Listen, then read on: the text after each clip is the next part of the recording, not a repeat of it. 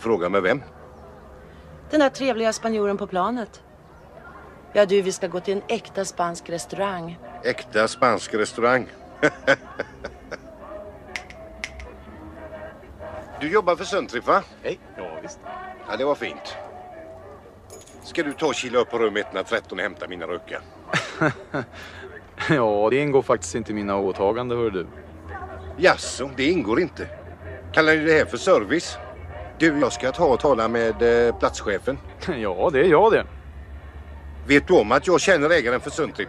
Jaha. Hälsa från mig då. Hej på det. Du, det är sista gången jag åker med Suntrip. Ja, ja. Gösta, ja.